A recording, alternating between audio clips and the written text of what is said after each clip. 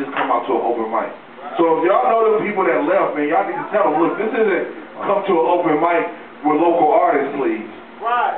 Our movement, and I ain't got a shirt on, but I'm acting like I do. This movement is support local artists, and the only way we can build is you never know who walked through them doors, you know, and we need to support each other because this is Shogun Slap Slap Shogun. Yeah. You have a great movement, sir. Thank you, sir. I already know, for real. For like, people might not have told you, and I know the hard work it takes to build a movement.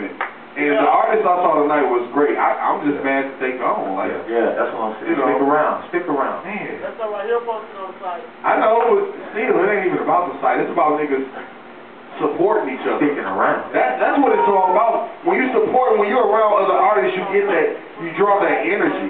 If you leave, you get right back into that grind mentality, that hustler mentality. You don't really get into this artist mentality. So I appreciate my people that stayed around. Shout out to Young Feet. Come on, I'm ready. I'm ready. I'm sorry. Go ahead. I'm gonna start talking. Hey, hey, hey, hey. That goes something like